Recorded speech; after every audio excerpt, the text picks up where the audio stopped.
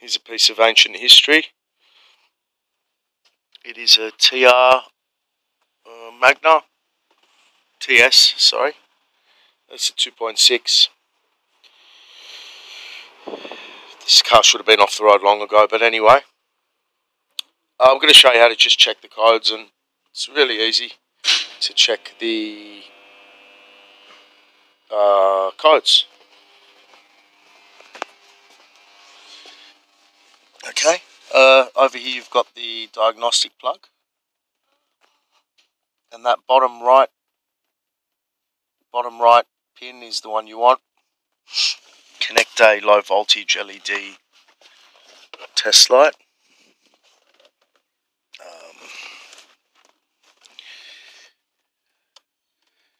you can clip it on there, but I choose to do it this way and on and off, door or key.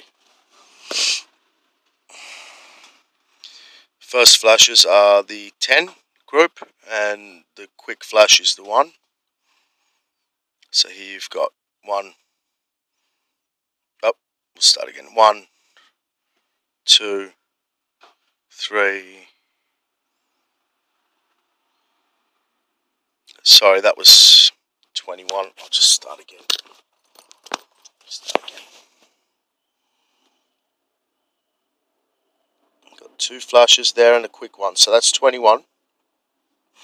One, two, 21. One, two, three, four, 41.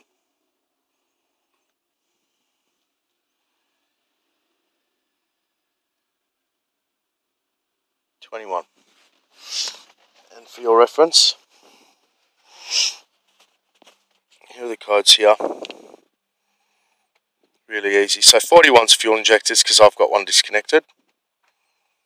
21 coolant temperature sender. This car seems to give a different code every time I start it. Um, could have been the 31 as before, knock sensor as well. That's the layout there. Uh, I'll just go through, I'll show you that so you can see that and um, here's the position of the electronics for your reference. It's not saying where the knock sensor is. Hmm. I'll have to find that separately. There's a wiring diagram.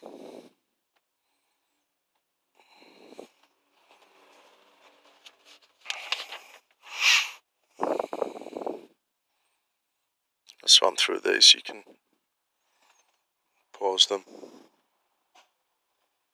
for your own reference.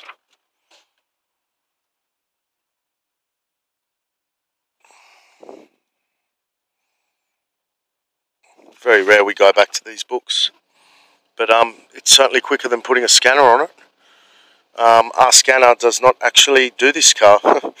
it all hooks on and fits, but no, it doesn't seem to do anything.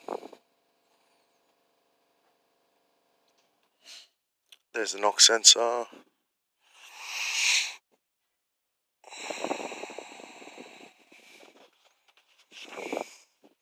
And that's that.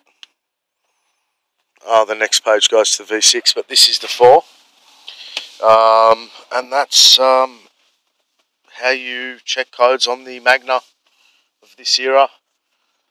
Was a car of the year time and time again for its uh, nice styling and smooth Astron uh, four cylinder. It's got a balance shaft in it. Used to be a very smooth car. Now all the timing chains rattle and you'd want to pay particular attention to raising that idle speed just a little bit higher if your timing chain's rattling. You can do that as well by advancing the timing just a little bit uh, and always make sure that that breather line is not blocked because that's why they just piss oil everywhere these ones uh, airflow meters are a common problem on them you can see we changed that last week That's the Karman Vortex system, where it sends little beams across, measures the interference in the beam uh, to determine the airflow. There's a built-in intake temperature sensor there. And, you know, they're the weak points of the car, but at this age you do get the electronics failing um, all at once, literally. Um, they came in a wagon as well, and the V6 is just a different story altogether, but that's the 4. Um, maybe that would have been some use to you guys. Thank you. Bye.